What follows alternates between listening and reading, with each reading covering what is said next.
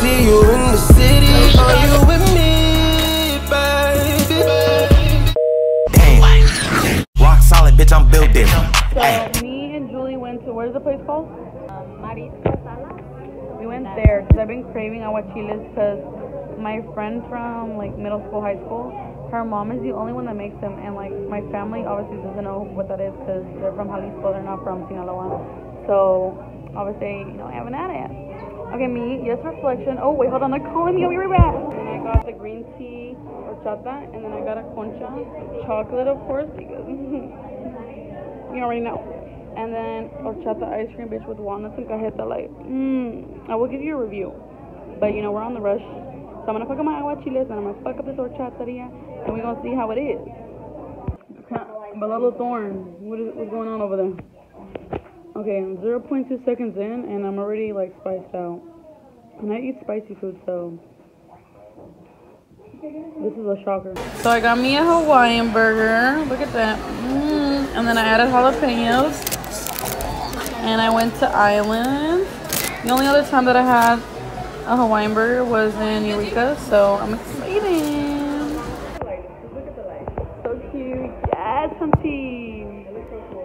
So it's basically like Italianized ice cream. They have pizookies, and then they have like some like milkshakes that have like crazy toppings on them. Julie got one, so I'll show you. And they have like a build a s'more that looks like, you know, the fondue. And they have a 24 karat like ice cream thing, like the cone and everything. Like the ice creams are covered in it. Hopefully you can hear me. If not, open up your ears. I'll give you a review in a bit. I got sour mango, sour lemon, and Jolly Rancher. And then I added vanilla ice cream inside, which, mm, Italian ice and ice cream, baby. What did you get? The Uh, brownie something. infusion, I think. brownie infusion. Yeah. Look at this. Ooh. It's good? 10 out of 10. Or like, rating out of 10. Rating out of 10. I give it a 7 because I wish this was chocolate chips. And what is it? It's uh, Cocoa Krispies, Oh, okay. the rice cereal. What about you? They want to be I freaking think- BJ so bad. It's really thin. Like the cookies like really, really thin. And then the ice cream, it doesn't have like, you know how cookies and cream has like the cookies?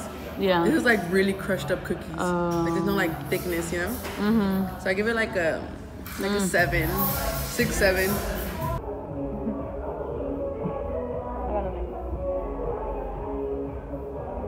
She look a little dry. The Jolly Rancher one is really good. Oh. I think I got Oreo bits as a topping. I'm dropping everything. There's supposed to be ice cream inside of this. Where the fuck is that? Hello. Oh my god. And that was a good flavor. At the freaking napkin. Oh I can never have anything good Last day. And we're here at Alondras. And this pizza has mustard and pickles. What in the world?